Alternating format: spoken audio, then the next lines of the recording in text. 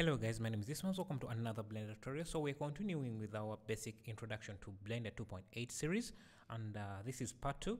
Uh, so um, mostly we are focusing on uh, using modifiers. We are not just looking at the entire interface at once. We are looking at one particular part of the application and uh, yeah, so for now we are still looking at uh, modifiers. Uh, in the last video we looked at uh, the bevel modifier and now let's look at uh, the boolean modifier. Uh, so the boolean modifier is used to merge or subtract from from an object. So let's say we have a cube like this. So let's select let's move it to the top like that and maybe let's add another object shift a and let's say a UV sphere. Uh, just so that we differentiate these properly even more uh, we can come to the shading and turn on random colors so that we can get those random colors. Can uh, we don't need the light there. We don't need the camera so I'll just delete those. And uh, so the way booleans work uh, if you have a, an object like this and maybe you want to uh, to have a cut of this shape around here uh, you can use the boolean modifier to make that cut. So you select the object go to the modifiers tab then add the boolean modifier then select the object you want to use as the cut. After you select that you will see that uh, the object you had here uh, disappears. That's because uh, the, the boolean operation you have is intersect and uh, it only works uh, when these objects intersect. We see. We have that but uh, you see, we, we are seeing a weird shape there and because we are, we are seeing the object and uh, the intersect. Uh, that's why you see that uh, they're kind of overlaying on top of each other. So if we go to object properties for this object by clicking this icon here and turn on the and go to the viewport display and change from textured uh, to wireframe to wire, you can see that uh, what remains of the cube is uh, the intersection between the cube and the and the sphere. So can you see? If you want you can also turn this to from where? Uh, to bounds so that we only see the out the outline of that sphere you see. What we are left with is just the intersection between the the cube and the and the sphere so but if we move it out of the cube and there is no intersection we won't see anything. Uh, so we can select the cube go back to properties to the boolean modifier change from intersect to union. Uh, this will merge uh, the object we are adding to the object we are we have the boolean modifier on. So we also have the difference. This will just give us a cut of the shape we have. So achieving this without a boolean modifier can be really hard and uh, if even if you achieve it it won't be as perfect and uh, it will take a uh, it will take you a lot of time. And uh, the, the, good thing about booleans is that uh, if we go back to this maybe let's just make the edits directly here so uh, keep on forgetting. So maybe let's select will this still work?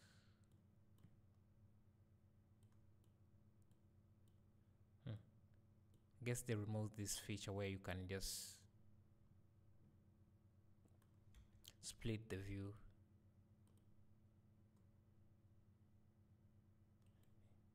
let's see.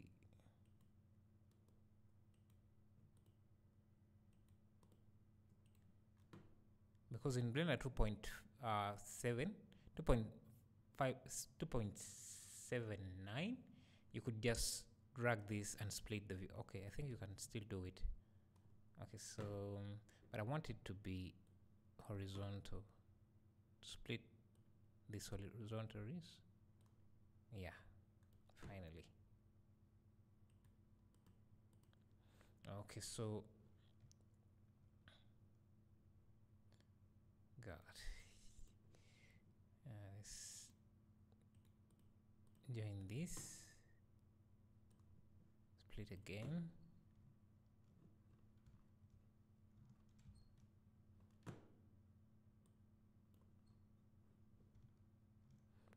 I'm even forgetting what I was about to do. So, uh, the good thing about booleans is that you can make uh, you can make edits.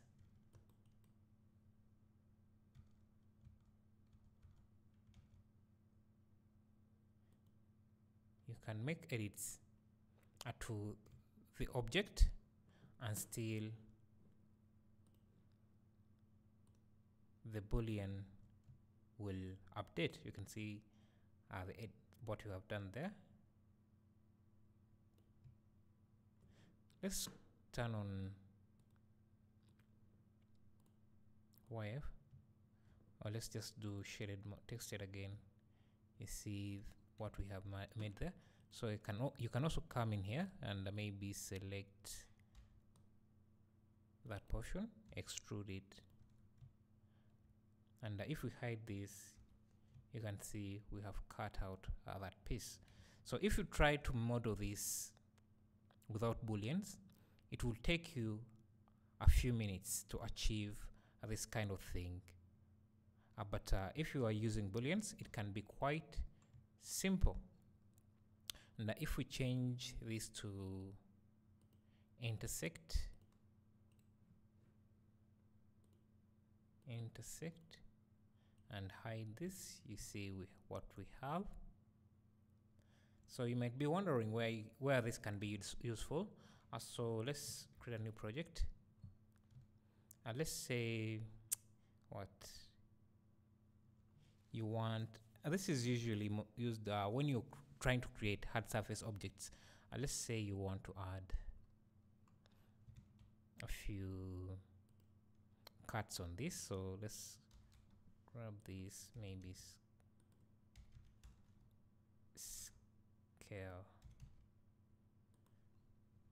booleans are very useful mostly when you are creating hard surfaces maybe like a science a sci-fi scene and I want to make science fiction uh, uh, objects. So let's change this to random again. Uh, maybe give this first give it a bevel. Let's reduce the width a bit we can go to the shading and turn on cavity so that we can see those edges popping out. Uh, we can also maybe add a bevel to this. Make sure you apply the rotation and scale so that the bevel is calculated properly. So you see what we have. Uh, let's see can we turn on ambient occlusion? Okay so the setting was removed here I think it's added was added in the it's in the shading.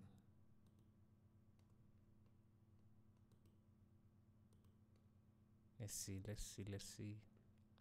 We have shadow and we have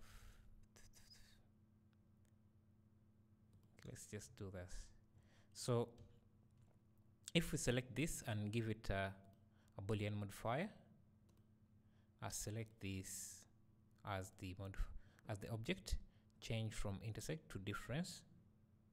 Now we can change this display to viewport display to bounds and see what we have. And we can pull it up like this. Maybe even come in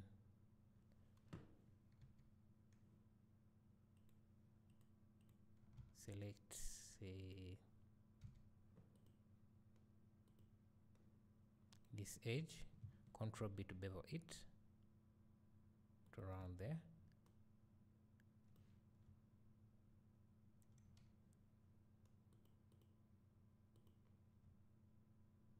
And uh, let's see. You could we can uh, we can put this boolean above uh, the bevel. So let's increase the width a bit. Okay. And uh, we can give this an array modifier in the y direction. So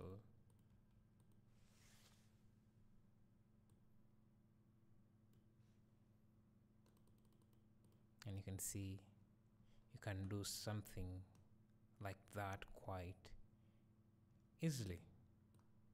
Now if you try to model this it will really take you quite some time. And uh, if you want you can also come in and add something else. Let's say we add you can also come and add a cube again. Let's rotate this rotate this negative 45 degrees and scale it in the y direction like that. Uh, go to viewport change this to bounds go to this and then we can come in again and add another boolean modifier boolean and copy this object to be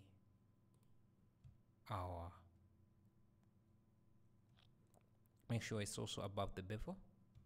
You see you can layer these booleans over on top of each other as much as you want and even make edits to the objects you have. So you see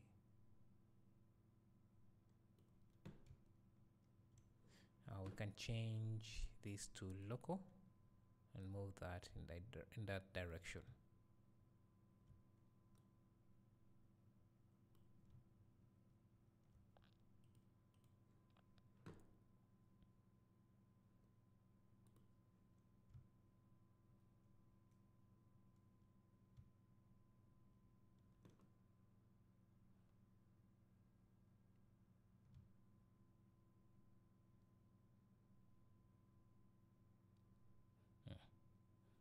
have that.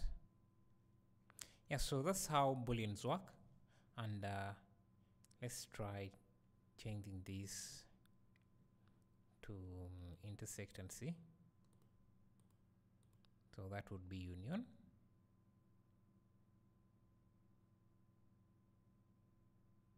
And uh, this would be intersect. Yeah so that's how booleans work. As Thank you for watching. If you found this useful, make sure to leave a like, subscribe, and I'll see you in the next video.